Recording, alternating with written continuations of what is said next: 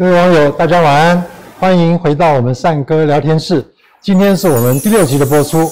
那我们今天的特别来宾呢，是民传大学生物科技系的林汉佐林教授，他同时也是科学月刊呃的总编辑。林教授、林总编跟我们网友打个招呼吧。各位网友，大家好，我是林汉佐。呃，我们这次啊，在这里摆了一本科学月刊，因为我们科学月刊，呃，我们和科学月刊的合作哈，今天算是跨入一个新的里程碑。呃，因为我们呃找了科学月刊很多精彩的文章啊，呃，经过他们的同意，用一种合作的方式摆到我们善科基金会的这个网站上面。有一个专栏呢，叫做呃科技大补帖。是。那今天如果大家上到我们网站去看的话呢，里面有七篇精选的文章跟一篇导读。那希望各位网友有时间的话，到网站上去看一下。呃，这些文章啊，都是呃我们跟科学月刊千挑细选哈，这个挑出来，我们觉得对网友这个科普的知识的这种增进啊，最有帮助的。那今天我找这个林汉佐或者林教林教授、林总编来啊，呃，到底要谈什么？大家应该猜得到，因为刚才提到他是生物科技系的教授。是。那最近半年，大家都对什么觉得最困扰？老实说，当然就是新冠肺炎，对不对？所以我们今天找林教授过来，我叫你林教授、林总编了啊。是。呃，当然就是要谈我们的这个新冠肺炎。这新冠肺炎哈，呃，讲到它，大家就回想到在二零零三年。有另外一个非常可怕的肺炎，叫做 SARS，对不对？然后后来又有一个 MERS，那个中文名字比较长，叫做是的？中东急性呼吸道。对对对对。然后现在跑出一个 COVID-19，就是所谓新冠肺炎。呃，这些病毒啊，到底是哪里来的？是。呃，你可不可以跟我们讲一下？我们前一阵子看到新闻报道说，可能是蝙蝠。到底这个说法正不正确？可不可以给我们一个比较正确的解释呢？好的，呃，新冠肺炎呢，跟这个 SARS 跟 MERS 其实都属于这个冠状病毒冠状病毒一支。它病毒上面有一大堆这个好像皇冠那种是凸出来的东西。它就是科学家看到它的长相，对，所以才叫 coronavirus。对，那这个冠状病毒其实人类其实并不陌生，就是它其实也是我们人类一般感冒。所引起的这来源之一，真的是哦。所以呢，其实人类其实一直跟它共处了一段时间，但是其实不太了解。然后因为大多数的状况下，其实也没有那么严重，所以得了病了以后，就靠自己的免疫力就消失了。OK。所以一直到像这个 SARS 的来临，其实科学家才开始惊觉到，原来冠状病毒也可以造成这么严重的危害。那主要就是它可能会造成这个肺部的纤维化，让你的肺没有办法呼吸作用，所以这个这样的一个患者，其实他在临终的过程是非常辛苦的，他有被溺水的那样的一个感觉，窒息的感觉，是对，因为他的肺完全没有办法呼吸动作。了解了解。对，那么有关于痊愈的话，是不是也会有部分的纤维化？哎，是的，是的。那也是等于说这一辈子肺部也是功能会受损了。对，是因为尤其肺其实是一个不容易再生的一个器官哦，这样子哦，对，所以它恢复会相当的有限。嗯，那这个冠状病毒的来源，其实从这个 SARS 之后，其实就有很多科学家来做研究。嗯，那不过呢，其实大部分科学家会着重在我们在蝙蝠身上找到了一群这个跟 SARS 在基因上面非常类似的这个病毒，所以我们认为它的来源可能最早的来源是来自于蝙蝠身上。蝙蝠，对。不过我们现在目前在蝙蝠身上找到的所有的冠状病毒，其实没有办法直接感染人类，所以各位不用太紧张。碰到蝙蝠，它不会感染你，那是它传给别的动物。是，所以科学家认为，如果说这个原始的冠状病毒要传染到人类身上，它应该还要有中间的宿主，所以才会有科学家认为，说是像这个白鼻星或者说是这个穿山甲，很有可能是蝙蝠传到他们身上以后，嗯，这个病毒经过一这个一定的这个演化变突变完了以后，对，变得更容易传染到人类，所以透过这样的一个方式才传染过。了解了，了解了，了解了。那这三个病毒 SARS、MERS 跟 COVID-19 哈，有没有什么病毒有没有什么不一样？造成其实我觉得它的形态对于人感染形态是也不一样。像 SARS 的话，致死率非常高。是。那好像现在就几乎就绝迹了。是。那 MERS 就一直持续持续了好几年，对不对？现在到底绝迹没有，我也搞不清楚。那这个 COVID-19 的话呢，好像致死率就没那么高。是，好像有人说他会继续拖，什么年底会再复发，或者明年会再回来。所以这三个病毒的这种特性形态好像都不太一样哦。是，他们在基因结构上面，这三种病毒会有不太一样的。真的是不太一样。对。但是我们现在目前就单就这个基因的这个结构状态，嗯，想要回推它的病症之间，这个其实有一段距离，所以这个是属于所谓的转移医学，这在研究的范畴。OK，那我们只能说这三种病毒呢，其实感染到人体身上以后，它的这个病症会有一点不太一样。嗯，像这个所谓的中东急性呼吸道症候群，它其实不是只有肺部的问题，它也会造成所谓的肾衰竭，还有一些其他器官的问题。所以它致死率是相当高的。嗯，那像这一个这一个呃所谓的 SARS 或者说我们现在的 COVID-19，嗯，它其实大部分感染最主要的还是持续在这个肺部的呼吸道，它会造成这个肺部的纤维化，所以这个是在病症上面会有一点不太一样。了解了，呃，其实刚才林教授已经跟我们讲到说，这 COVID-19 哈为什么会让我们人致死，是因为让我们人的肺部。纤维化，然后让它失去呼吸的功能能力，最后就是很难过的窒息的感觉，是就离开人世。即使能够复原的话，肺部也会受损，是不是？这个其实听起来是蛮蛮恐怖的，等于说等于说他的这个呼吸能力会会打折了，是是这样子吗？是那个这个是致死的原因，但是也有很多呃药厂在积极的研发疫苗，可是也有另外一派的说法是说这个疫苗很难真的有效，因为这个。这个疫苗做出来，可是这个病毒变化的速度很快，说不定根本就是你疫苗追不上的，所以这个疫苗研发也非常的困难。这个说法正确吗？哦，事实上，嗯，如果说我们就人类的历史来看呢，嗯，就是病毒性的疾病，疫苗永远是最好的一个解决方案。这样子是，就是从人类的历史来看，你要克服病毒性的疾病，大多数还是要靠疫苗。哦，那当然，这个 RNA 病毒它其实。这个突变的几率比一般 DNA 病毒要来得高，嗯，但是其实 DNA 这个病毒它的突变几率高，并不代表说它存在的这一个我们看到的这个病毒其实花样会很多，因为有时候突变的太夸张，其实它就会不利于它。在这个感染，所以它这个在整个自然选择上面会被淘汰掉。嗯，所以我们可以观察到的这个病毒的突变几率，其实它还维持着一定的程度，并不会像大家想象中的变化速度是难以 想象。对，OK。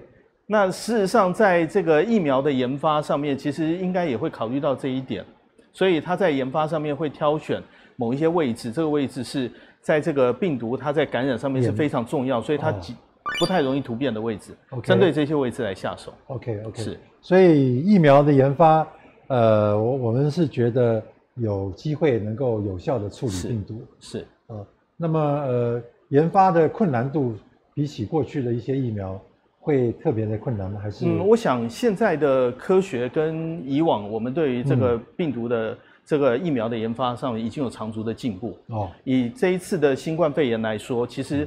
整个世界上，大概目前有一百多种的疫苗正在研发。哦，这么多。那策略上面是不太一样，就是大家其实采取的方法是不同。哦。那其实昨天，其实这一个我们的国卫院其实也发了一个声明稿，是谈到国卫院将来会以 DNA 疫苗的形式来发展对抗这个新冠肺炎的疫苗。哦。那它是一个全新的一个发展的方向。哦。对，那。当然，呃，我想国务院本身它对于这个 DNA 疫苗的研发上面，它应该有一些自己研发上面的把握。那重点是我们其实在这个，这是一个全世界的共同的问题，所以我们大家在研发上面并不是拼谁第一，而是希望说用不同的策略，不要把所有的方式都放在同一个篮子里面。对。可是你刚才说这个新冠肺炎的病毒是 RNA 的这个啊病毒嘛？是。那呃，我们的国卫院他说要用 DNA 的方式来做这个，这个这在技术上是合理的吗？哦，不是，DNA 疫苗是一种新的概念。哦，呃，一般我们的疫苗是以蛋白质为主。对。那 DNA 疫苗呢？它在生产上面速度会比生产蛋白质来得快，所以它其实是一种这个先进的方式，而且其实 DNA 疫苗在保存上面，它也不需要这个保存条件上面可以更宽松一点。这样子，对，就是万一将来需要大量疫苗的时候，也许用 DNA 疫苗的方式，事实上是一种比较在后续量产上面比较容易的一种疫苗的方法。了解了，那这个疫苗如果真的有朝一日可以问世的话，请教林教授啊，它有没有一个有效期？譬如说打一打一剂。可以撑一年，是，或是更久，或是怎么样呢？是，其实这是一个现在在科学上大家在争论的一个问题哦。因为在临床上，我们现在看到有一些新冠肺炎这个患者，嗯，呃，他的这一个这个康复以后，他的这个身上的这个蛋白呃抗体的这一个。这个含量其实会迅速的消退，所以有一些人认为说，也许我们的免疫系统对于这一个新冠肺炎来说，它不会有一个长期的记忆能力，所以它不会像天花一样说得一次就终身。所以你说这个呃抗体迅速的消退，表示说它很可能又被感染，是它可能得完以后康复以后再被感染的几率相当的高。哦，那这个就比较让人担心了。对，不过这只是其中的一种观察而已。这样子哦，哦，了解了。那个像流感疫苗啊，是，呃，每年打的时候都有一个抉择，就是说什么几价几价，是，呃，有的时候你挑错了，结果打下去就没有用，呃，那这个新冠疫苗将来如果做出来，会不会也有这种问题？呃，我想流感疫苗是一个不一样的观念，不一样的观念，对，因为流感疫苗它的这个它叫流行性感冒，对，所以它每年流行的这个方式可能不太一样，它有所谓的 A 型、B 型，对，那 A 其实还有一些次。次次型哎对，所以这个美国的 CDC 它其实跟全世界的这个实验室有签约，它所以它会全世界每年去筛选，去了解这个流行趋势。嗯，那当然有时候会猜错哈，比方说像去年好像 B 型的这个保护效力就非常低哦，对啊，打了以后就没效，那就是代表专家猜错方向，猜错了，是。是是是。是，OK，好吧，我们就拭目以待哈，看看说这个。呃，疫苗能不能很快问世？哈，这边有一个网友的问题说，感染以后会产生抗体吗？那国外有的案例并没有产生抗体，这个跟刚才林教授讲的已经有点有有点回答，就是说这个痊愈以后抗体很快就消失了。是，所以你如果说没有很快的去采采它的抗体的话，说不定就采不到抗体了，是不是这样讲？对，因为像网友的这个发问，我是。不太清楚出处了。哦。不过因为每一个人对于这个这个新冠肺炎，它的这个免疫所产生的反应，其实是有一些差异性的。这是我们目前已经了解的。嗯。所以呃，比方说像无症状感染，有的人就认为说，最近的一期科学报道是的，这个说他就是因为免疫不好，所以他才会无症状感染。什么叫做无症状感染？你也跟我们网友好好说明一下。呃，所谓无症状感染，就是它事实上是一个带源者，也就是它是被感染的，但是它并没有感染以后发病的症状。可是它是带源者，还是，所以它其实本身具有传染能力。那这个是怎么样？这个人是呃带源，可是这病毒对他没有用。呃，目前其实对于这个这一个无症状感染到底会发生的原因是什么，其实我们并不是那么清楚。哦，哎，所以这个是一个非常。呃，值得研究的一个议题，就是他身上有病毒，然后他也会传染给别人。是，可是他自己看不出任何症状。对，可能是体质的关系或什么关系，现在不知道。是。哦，OK，所以这个就是让人担心，就是说台湾我们现在，呃，好像大家都觉得我好好的，但是不能说我好好的就我百分之百没有带病毒，是这个意思，对不对？那这样就很麻烦了，这样。你包括这个，如果无症状感染也包括无症状感感染也包括没有发烧咯。是。那这样子，我们如果在火车站、在捷运站门口在量体温也没有用咯。是，其实我想量体温这些对于这一个新冠肺炎来说都不是百分之百有效果。哦。哎，不过台湾的状况现在看起来是因为即便是无症状感染，它。在传染了几代以后，其实还是会碰到有症状感染者。对对对。所以其实台湾第一线的医疗，如果发现这个台湾的整个状况上面有一些不寻常的现象，就是我们有发现新的这个案例的话，其实就可以回推这样的一个状况。所以，呃，是不是可以这样讲？就是说，最可靠、最精准的方式还是采检体去验病毒。而不是只是看看发烧没有。是，不过采检体这个东西其实也不能百分之百。哦，嘿，那我们现在目前在台湾所采取的这个所谓的呃采这个所谓的阳性的标准，目前是用所谓的 PCR 的方法。啊，那它是一种 DNA 的放大技术，它非常灵敏。哦。所以大概你的简体里面大概有二三十只病毒，它其实就可以侦测得出来。这样子是。OK。那不过呢，它没有办法侦测到底是死的还是活的，所以我们常常说三彩阴才能让这个病人可以这个出院。那事实上这个是一个非常严谨的一种手段哦。那所以通常到三彩阴的状况下，这个病人身上应该都不会有什么病毒。三彩阴如果说都是阴性的话，它还有。存活病毒的几率已经低低低之又低了，是不是这样讲？是，OK，好，呃，所以其实这就牵涉到前一阵子一个呃，我们卫福部陈时中部长的一个策略，他说我们不做普筛，是对不对？不做普筛，做普筛其实当然要投资比较多的资源，但是是不是可以找出某些案例是无症状感染的案例出来？但是我们没有做这件事情嘛？是。那这个这个当然我们不是我不是专家，不能评论陈时中部长或是卫福部的这个策略。但是呃，现在很多国家开放这个旅游啊，没有把台湾放进去，这个我不知道跟台湾呃做这个裁剪的方式，呃，跟其他国家，呃像韩国我就知道他们用大量的裁剪的哈，但是台湾没有，所以这个是不是另外一个呃裁剪技术的？考虑层面，我们就没有办法评论了。哦，是，不过呃，就实物上来说，用核酸检验的方式是非常消耗人工的。哦，所以它要达到非常大量的普筛，那就意味着它要更多的这个筛检的实验室。哦，这样子是。那台湾我们或许能量不够。我想，如果说台湾有疫情发生的时候，台湾的能量绝对够。哦，这样子。那这个这个。呃，疾管局它会跟各大学的相关的实验室，其实大部分都会有，即便像民传这样的实验室，其实都会有这样的一个技术存在。是好，呃，那个很多人都在讲说，呃，现在好像疫情稍微慢慢减缓了，呃，因为这气温的关系，可是入秋入冬以后又会回来。其实现在即便还是夏天了，好像我们也看到疫情第二波慢慢又上来了。是，所以这个。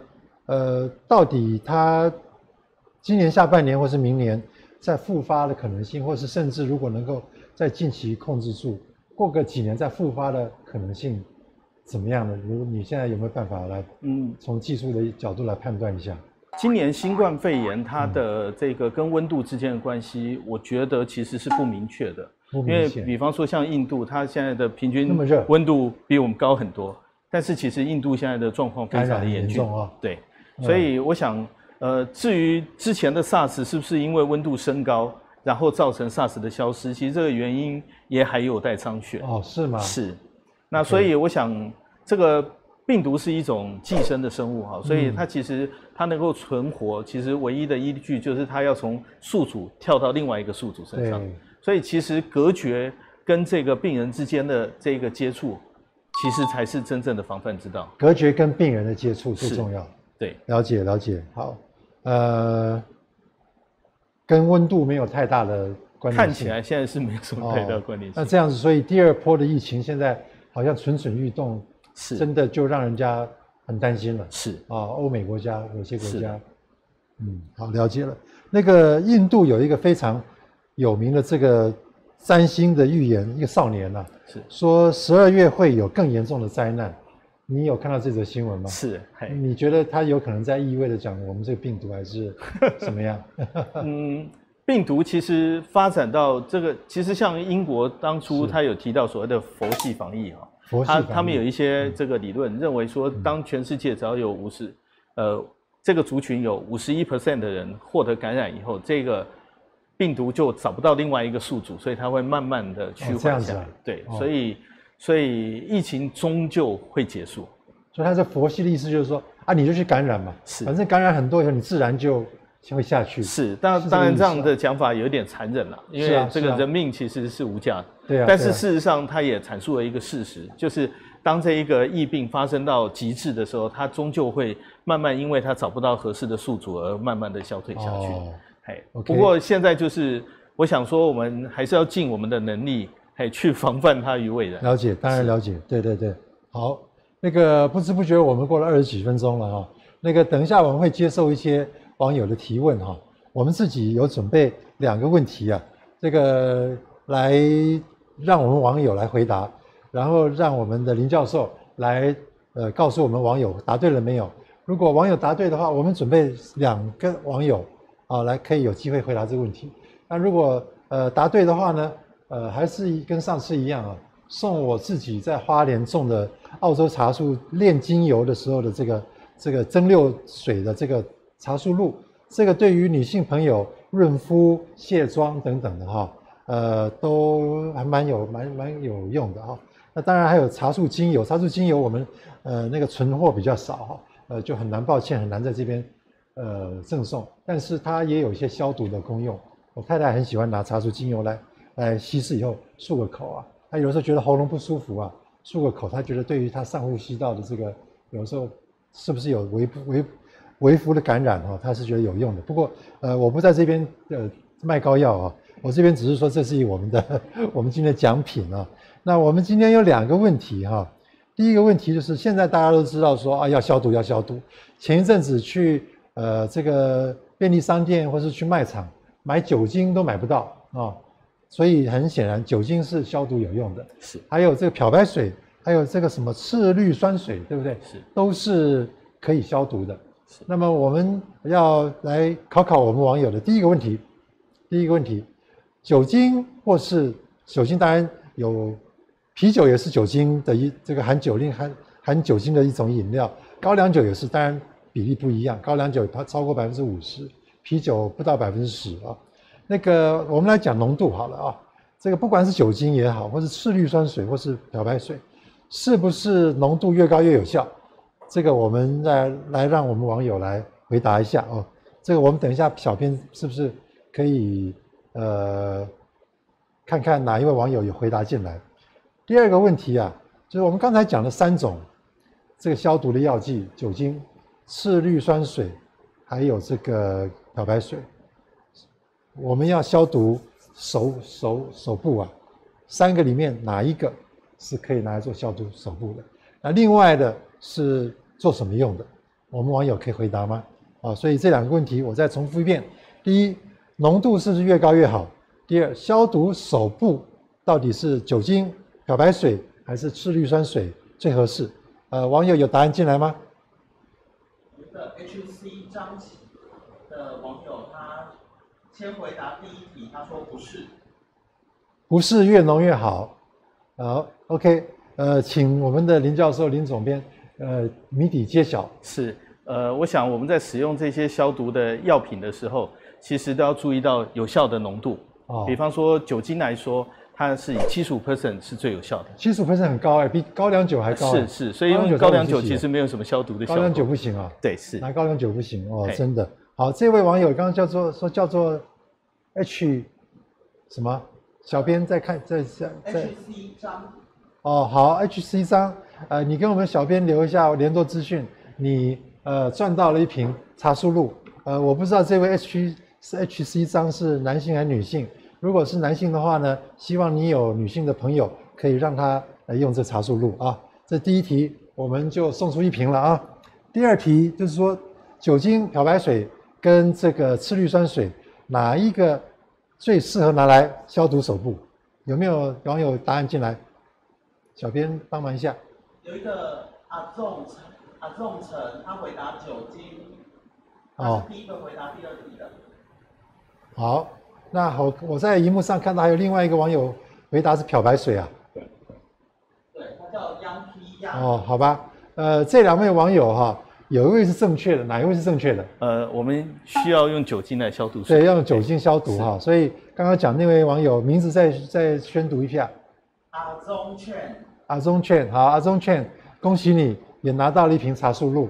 呃，记得这个直播之后啊。跟我们的这个小编哈留下你的联络资讯，好不好？那另外一位杨杨什么？C H 杨 C H 张不是讲错的那位漂白水，漂白水那位哈，对那位呃杨先生或杨小姐，对不起，漂白水不能拿来这个洗手或者消毒手。漂白水是拿来做什么用的？呃，漂白水是用来清洁清洁环境的。譬如说你要拖地板的时候，是可以加点漂白水在水桶里面，是啊，拖把沾这个水，是有漂白水的水去拖地，是不是？所以这个漂白水是这个用途。好，我们两个问题呃都圆满呃回答了哈。我们网友有没有其他的问题要请教我们杨教授？我们杨总编。哦，这边有一个题目，呃，我念，然后我们请杨教授帮忙回答。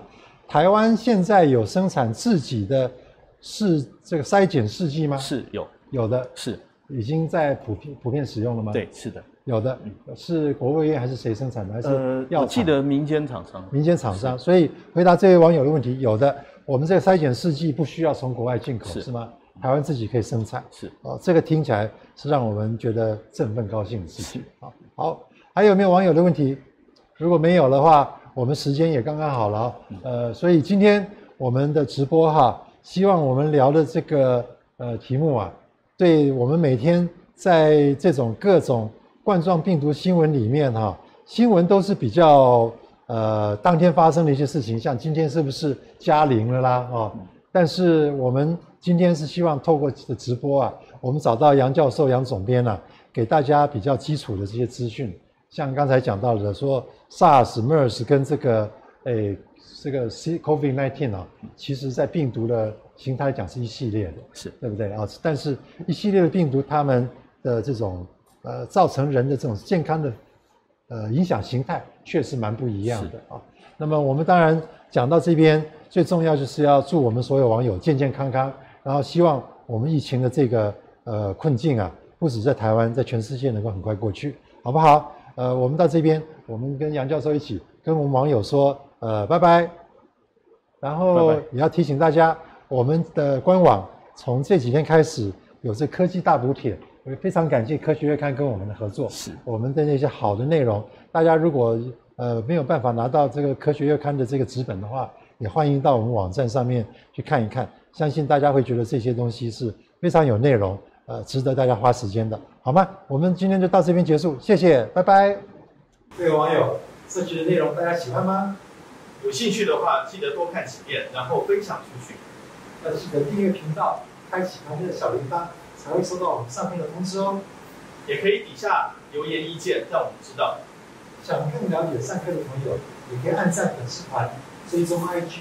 那我们下期见喽，拜拜。